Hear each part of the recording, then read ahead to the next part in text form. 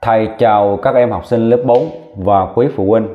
Hôm nay thầy cùng các em giải đề tiếp theo, đề số 4, đề thi giữa học kỳ 1, năm học 2022-2023. Môn toán, phần số 1, trắc nghiệm, câu 1. Giá trị của chữ số 9 trong số 924.335 là bao nhiêu? Thì số 9 này nó ở hàng gì đây? Ở hàng gì? Hàng trăm nghìn. Do đó thì giá trị của nó sẽ là 9 nhân cho 100 nghìn. Nhớ chưa? Giá trị của nó là 9 nhân cho 100 nghìn. Thì bàn là 900 nghìn.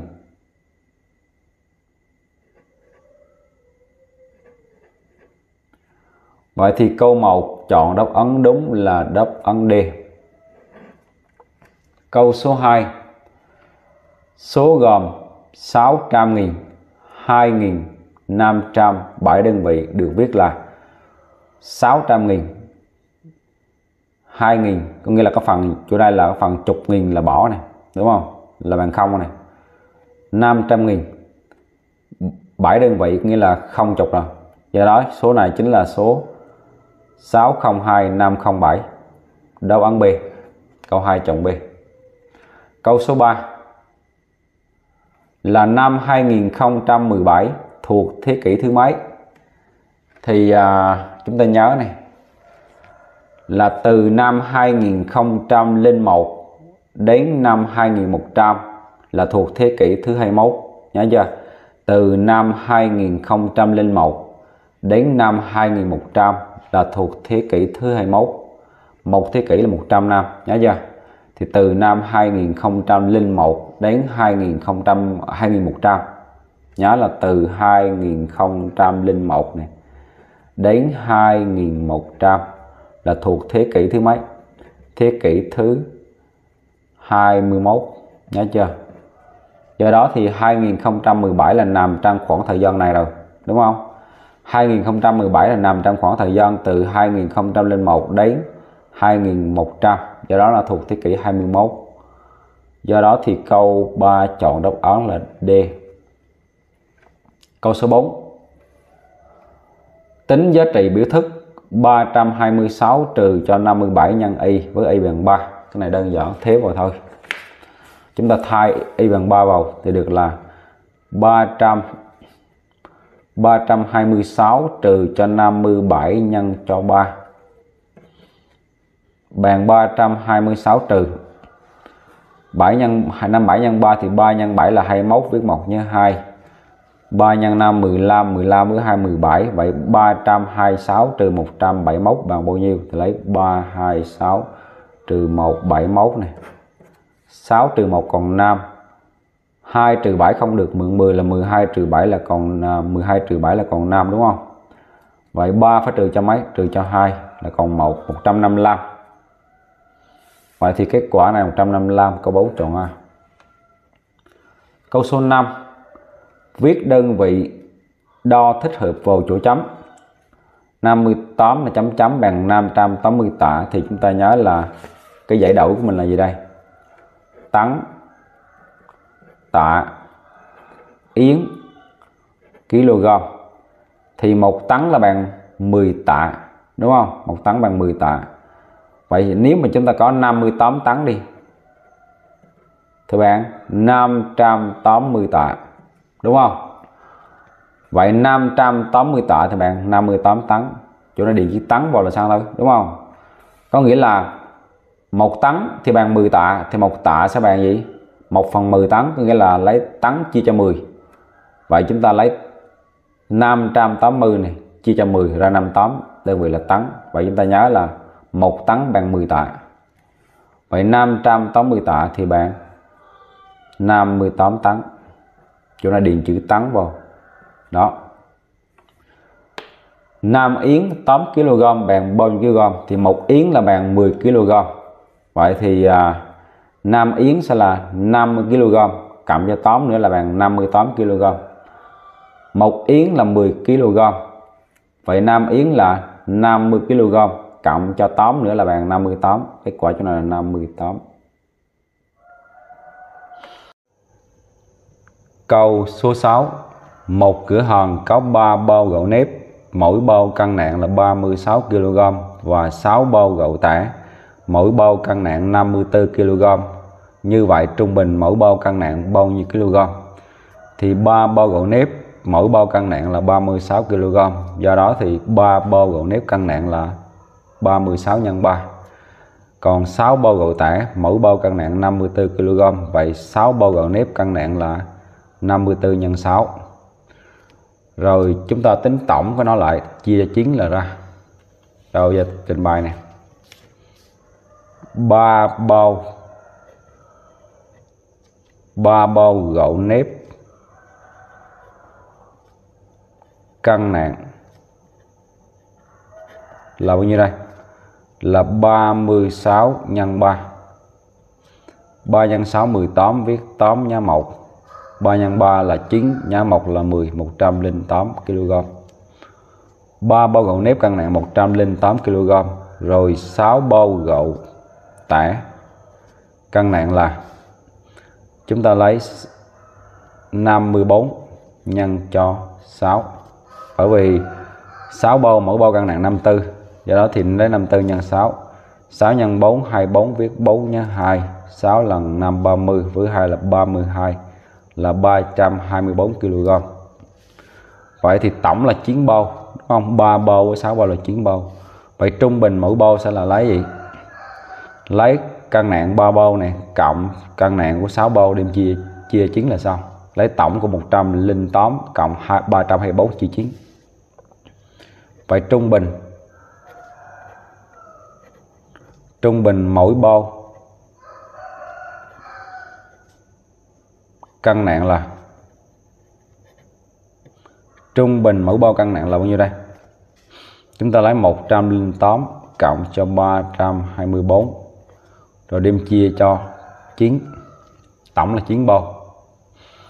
Rồi cộng nhanh luôn nè 8 cộng 4 12 viết 2 nhớ 1 2 cộng 1 là 2 cộng à, 0 là 2 nhớ 1 là 3 rồi 3 cộng 1 là 4 432 432 đem chia cho 9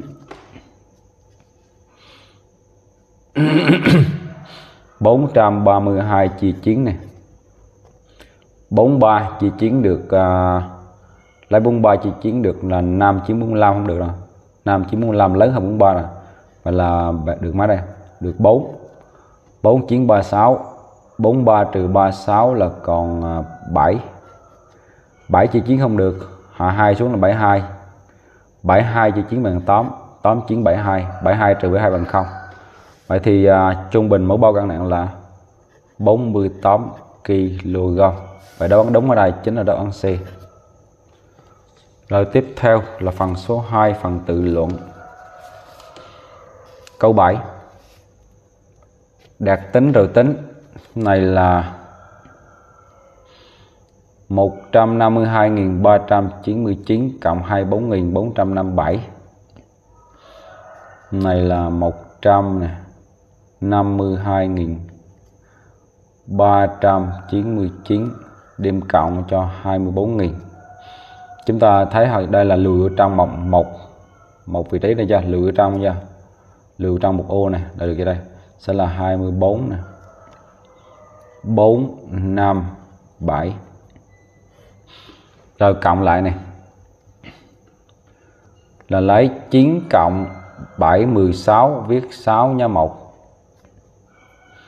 rồi 9 cộng 5 14 với 1 nhá 1 15 viết 5 nhá 1 nhớ chưa? 5 nhá 1 viết 5 nhá 1 chú ý giờ không sai á. Rồi à, 3 cộng à, 4 là 7 nhá 1 là 8 rồi 2 cộng 4 là 6 5 cộng 2 là 7 hạ 1 xuống, kết quả là bàn. 176.856 kết quả chỗ này là 176.000 này 856 rồi, tiếp theo là 6 triệu 999 992.508 trừ 22.384 thì cái này à, chúng ta đạt ra này là 6 9 9 2 5 0 8 trừ cho 22.384 thôi. Và chúng ta điền chỗ này số 2 là dưới số máy này chứ không là sai này. 92.000 là dưới này thấy không? 92.000 ở đây là 22.000 dưới chỗ này này. Đó số 2 dưới này 22 dưới này. 3 8 4 rồi trừ nhau. Cái này là cộng nha. Này là trừ. 8 trừ 4 còn 4 0 trừ 8 không được mượn 10 là 10 trừ 8 còn 2 5 trừ 3 trừ thêm 1 là trừ 4 còn 1 2 trừ 2 bằng 0 rồi. 9 trừ 2 bằng 7 hạ 6 chiến xuống. Để được là 6 triệu 970 nghìn 124 6 triệu này. 970 nghìn 124 cái này là 4 429 nghìn à, uh, 089 nhân 5 429 nghìn 089 nhân 5 này là 429 nghìn này. 089 điểm nhân cho 5 rồi nhân này. 5 nhân 9 45 viết 5 nhớ 4 5 nhân 8 40 với 4 là 44 viết 4 nhớ 4 được không? 5 nhân 0 là 5 à, 5 nhân 0 là 0 nhớ 4 nữa là 4 5 nhân 0 là 0 nha nhớ 4 là 4 5 nhân 9 45 viết 5 nhớ 4 5 nhân 2 là 10 với nhớ 4 nữa là 14 đúng không? À, xin lỗi nhớ 4 là 10 à đúng không 5 nhân 2 là 10 5 9 45 viết nào nhá 4 này? 5 nhân 2 là 14 14 viết 4 nhá 1 5 nhân 4 20 nhá 1 là 21 là nó bằng là 2 triệu 145 nghìn 445 kết quả chỗ này là bằng gì đây? 2 triệu 145 nghìn 445 rồi tiếp theo là 143.263 chi chiến. Rồi thực hiện phép chia bình thường đây nhốt vào đây này là 143.263 chúng ta đem chia cho 9 vậy thì à, một chi chiến không được, lấy hai hai chữ số là 14 chi chiến. 14 chi chiến được là mấy? 1 1 nhân 9 là 9 14 trừ 9 còn 5 số 5 ở dưới số 4 bây giờ. Rồi 5 chia 9 không được hạ 3 xuống.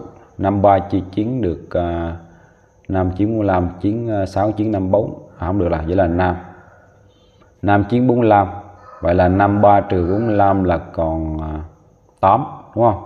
8 8 chi chiến không được hạ 2 xuống là 82 82 chi chiến là được à, uh,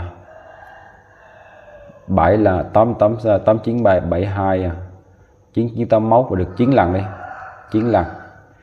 9 9 81 vậy 82 trừ 81 còn 1 1 chia 9 không được hạ 6 xuống. Là 16 chia 9 được à, uh, 2 là 18 lớn hơn 16 rồi phải là 1 1 nhân 9 là 9 16 được 9 còn 7 7 chia 9 không được hạ 3 xuống là 73 73 chia 9 được là 8 9 72 được 8 8972 73 trừ với 2 còn 1 và dư 1 vậy thì à, 143.263 chia 9 là được à, bạn mấy này bàn là số là 10 15.918 à, thương là 15.918 dư mấy? Dư. Dư ở đây là dư 1 thấy chưa?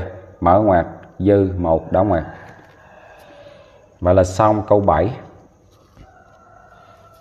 câu số 8 tính giá trị biểu thức với A bằng 339, B bằng 3, C bằng 135. Gồm có 3 câu. Câu A là 59.487 cộng cho A chia B. Rồi. Với nè. Với A bằng câu A là với A bằng 339. B thì bằng à, bằng 3 do đó thì giá trị giá trị của biểu thức là, giá trị biểu thức là là gì đây? Thay AB vào là xong thôi? 59.487 này cộng cho. A là 339 chia cho B là chia cho 3 339 chia 3 là bằng uh, bao nhiêu ta? Đây. 339 chia cho 3 3 chia 3 được 1 1 nhân 3 là 3 3 trừ 3 bằng 0 hạ 3 xuống đúng không? 3 chia 3 được 1 1 nhân 3 là 3 3 trừ 3 bằng 0 hạ 9 xuống. 9 chia 3 bằng 3 113 339 chia 3 113 vậy đây là 59.487 này cộng cho 113 được chưa? 113 thì cộng bình thường thôi 59.487 487 cộng cho 113 7 cộng 3 là 10 biết không nhá 1 8 cộng 1 là 9 nhá 1 là 10 biết không nhá 1 4 cộng 1 là 5 nhá 1 là 6 vậy là cái này hạ 59 xuống là 59.600 kết quả là 59.600 câu B. Câu B là gì đây? Câu B là gì đây? Tính giá trị biểu thức là A nhân B trừ C thì à, với A mấy? Với A là bằng 339 B thì bằng 3 C là bằng 135 lúc này giá trị biểu thức sẽ là giá trị giá trị biểu thức là gì đây? Thay vào thôi A là 339 này nhân B là nhân cho 3 trừ cho C là trừ cho 135 3 nhân 9 27 viết 7 nhớ 2 3 nhân 3 là 9 nhá 2 là 11 viết 1 nhá 1 3 nhân 3 là 9 nhá 1 là 10 1017 trừ 135 1017 này, trừ cho 135 rồi 7 trừ 5 bằng 2 1 trừ 3 1 trừ 3 không được 10 10 là 11 trừ 3 còn à, 8 đúng 1 trừ 3 còn 8 vậy 10 trừ cho 2 là còn 8 là 882 kết quả là bằng 882 882 câu C là A à, câu C là C cộng A nhân B. Rồi với với A là bằng 339 này. B là bằng 3 C là bằng 135 thì lúc này giá trị biểu thức sẽ là giá trị biểu thức là gì đây? C thì thay bằng à, 135 cộng cho A nhân B. A là 339 nhân B là nhân cho 3 bằng 135 cộng gì đây? 9 nhân 3 27 là cái này có rồi này. 339 nhân cho ba, có chưa ta? 339 nhân ba là 1017 1017 cộng rồi thôi. 1017 cộng cho 135 1017 cộng 135 à ờ, đúng rồi. 7 cộng 5 12 viết 2 nhân 1 1 cộng 3 là 4 nhân 1 là 5 10 cộng 1 là 11 Vậy là 1152 Kết quả là bằng 1152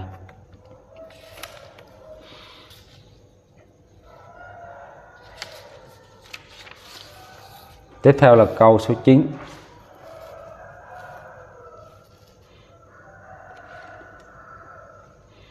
Có hai đội công nhân đầu mương à, đầu đường. Có hai đội công nhân đầu đường.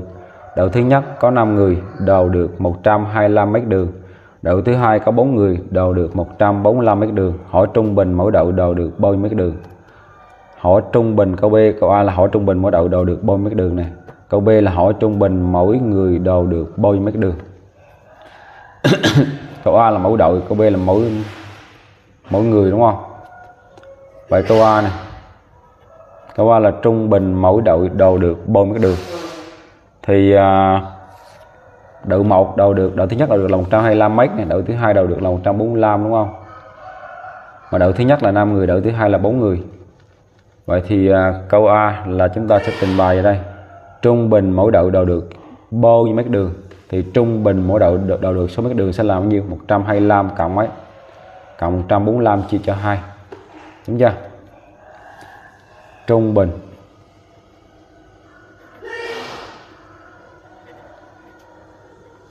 Trung bình mỗi đội.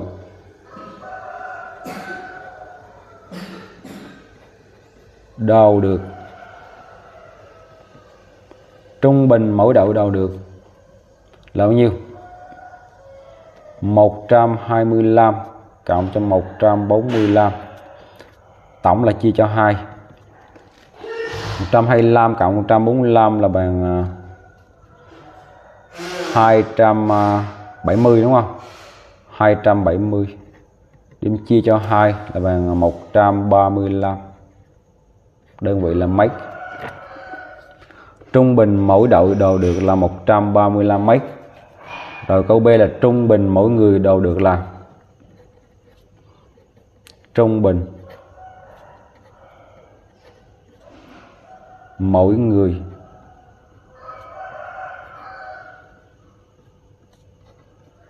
Đầu được là trung bình mỗi người đầu được là bao nhiêu đây? Chúng ta lấy 125 này. Gì đây? Cộng cho 145 và đem chia cho mấy đây? Chia cho 9 đúng chưa? Lấy 125 cộng 145 chia 9 125 cộng 145 là 207 chia 9 là bạn 30 mấy. Vậy thì đáp số. Số là gì? Câu A này câu A là bao nhiêu? 135 mấy câu B là 30 mấy câu cuối cùng là câu số 10 tìm hai số chẵn liên tiếp có tổng bàn 4010 thì chúng ta lưu ý là hai số chẵn liên tiếp thì hơn nhau hai đơn vị. Ví dụ như thầy có là số 2 này, số 4 này, thì hai, đây chính là hai số chẵn liên tiếp hơn số sau hơn số trước hai đơn vị. Thấy không? Rồi, trình bày này. Hai số chẵn liên tiếp.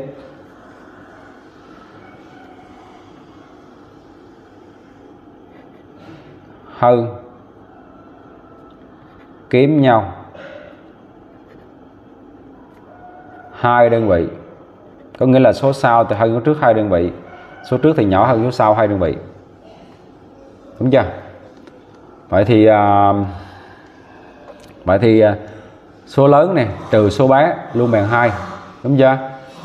Vậy thì giá trị số lớn sẽ là gì đây? Mà tổng số lớn và số bé là bao nhiêu? 4010 vậy thì số lớn sẽ là bao nhiêu đây? Chúng ta lấy 4010 này, cộng cho 2 và đem chia cho 2 tổng còn là chia 2 4012 chia 2 là tính là tính đi.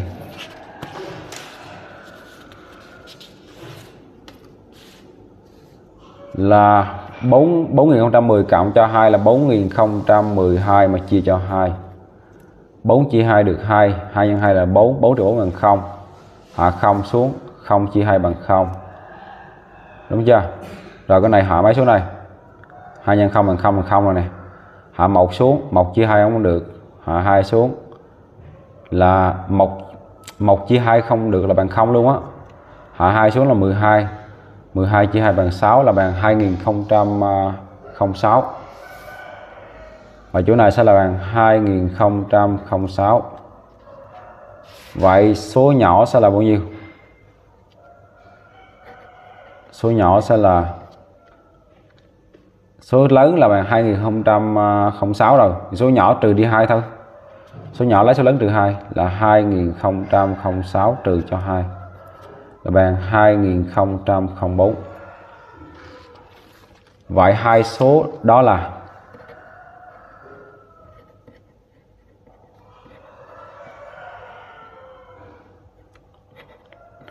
là 2006 và 2004 chúng ta cộng hai số này lại này là 2006 cộng 2004 là đúng đúng bàn gì? 4010 thấy không? Chúng ta nói lại cho này nè.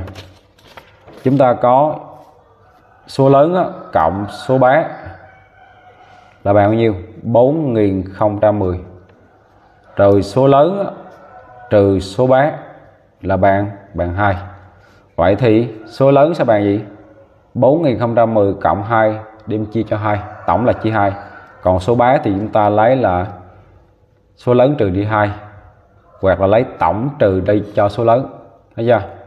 Chỗ này chúng ta có thể là lấy 2006 trừ 2 hoặc là chúng ta có thể lấy là 4010 trừ cho 2006 kết quả nó vẫn ra là 2004 video bài giảng của thầy đến đây. Xin tạm dừng. Cảm ơn các em đã theo dõi. Hẹn gặp các em ở những video lần sau. Chào, tạm biệt các em.